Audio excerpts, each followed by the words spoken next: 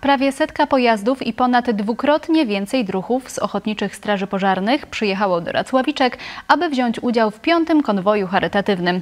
O największej strażackiej akcji dobroczynnej Jakub Słupecki.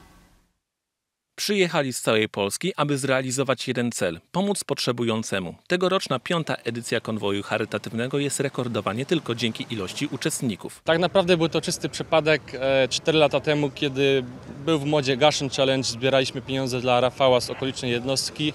E, Postanowiliśmy, że może zrobimy jakieś małe zawody strażackie albo mały zlocik.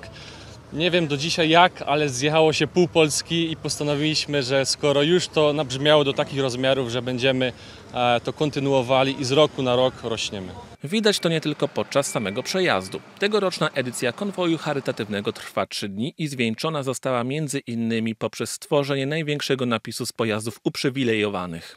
Inicjatywa ogólnopolska, ale to też nie są strażacy, bo to też po prostu są jakby inne zrzeszenia, czy tam y, zabytkowa policja, za- wojsko, więc jakby musi ten samochód mieć y, uprzywilejowany kogut, tak żeby on po prostu z nami wystartował, tak? W tym roku cały dochód z akcji przeznaczony zostanie na pomoc trzyletniej Amelce chorującej na zespół RETA. Leczenie wymaga milionów złotych. Amelka choruje na zespół RETA, jest to choroba genetyczna, która się objawia utratą wcześniej nabytych umiejętności, problemem z komunikacją i poruszaniem się.